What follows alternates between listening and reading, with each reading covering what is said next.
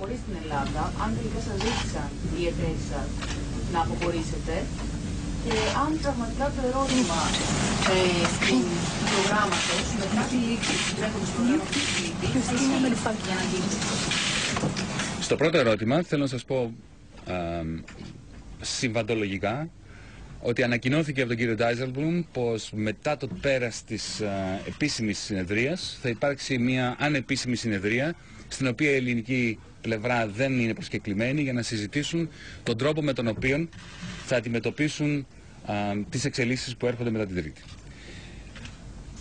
Μάλιστα το communique, το οποίο αυτή τη στιγμή νομίζω ο κύριος Ντάιζελμπλουμ ανακοινώνει, α, δεν υπεγράφει από εμάς. Εμείς διαφωνήσαμε με το communique. Έθεσα το ερώτημα επισήμως και μάλιστα το απίθυνα στη γραμματεία του Eurogroup κατά πόσον η ομοφωνία είναι απαραίτητη.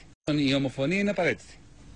Ή αν πράγματι ο κ. Ντάιζελμπλουμ είχε το δικαίωμα να προχωρήσει σε ε, statement, σε δήλωση, σε communique, άνευ της συνένεσης της ελληνικής πλευράς, χωρίς ομοφωνία.